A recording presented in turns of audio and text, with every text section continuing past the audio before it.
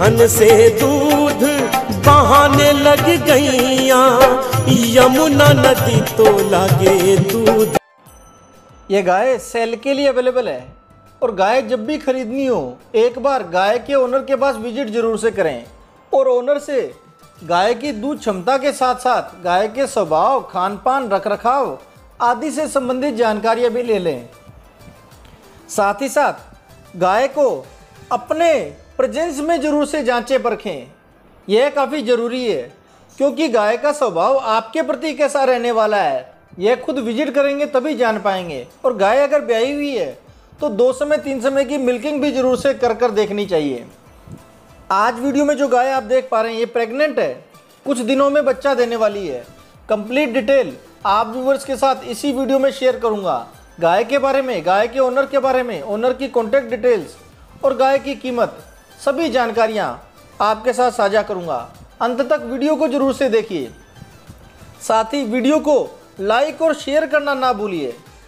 नमस्कार दोस्तों, आप देख रहे हैं फार्म टॉक और मैं जयपाल सिंह राठौड़। हर घर देसी गोवंश, हर खूंटे देसी गोवंश। इस मुहिम को पूरा करने के लिए आज के वीडियो में आप एक राठी नस्ल की गाय देख पा रहे हैं, जो कि ग्याबिन है, प्रेग्नेंट है, कुछ दिनों में बच्चा देने वाली है।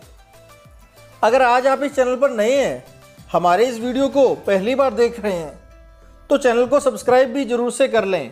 नज़दीक दिए गए बेल आइकन पर क्लिक कर ऑल नोटिफिकेशन बेल दबाएँ, ताकि आने वाले हर एक वीडियो की नोटिफिकेशन आपको रेगुलर मिले।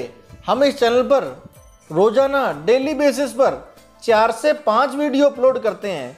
उनके माध्यम से आप अपने लिए इन गायों के अंदर कंपैरिजन कर कर अच्छी से अच्छी गाय का सिलेक्शन कर सकते हैं। आपके बजट के अनुरूप। महादेव डेयरी फार्म के ओनर जीतू चौहान जी इस गाय को सेल के लिए अवेलेबल करवा रहे हैं। Village 16 Z 16 Z, district Shri Ganganagar, Rajasthan के रहने वाले हैं। इनके mobile number eight two nine zero five seven zero three zero five. इन मोबाइल नंबर पर संपर्क कर संपूर्ण जानकारी ले लें। खुद एक बार विज़िट ज़रूर से करें। विज़िट करेंगे तो लगभग आधा दर्जन के आसपास यहाँ आपको राठी और साहिवाल नस्ल की गायें देखने को मिलेंगी। उनमें से भी अपनी पसंद की गाय का सिलेक्शन कर सकते हैं। दूसरा ब्यांत है और ब्याने में लगभग 20 से 25 दिन ड्यू है। इन दिनों में अडर में आपको अच्छी खासी ग्रोथ देखने को मिलेगी। पहले ब्यांत में 10 लीटर दूध दिया है। इस बार 12 लीटर की उम्मीद है और कीमत अट्ठाईस हज़ार रुपये डिमांड की गई है।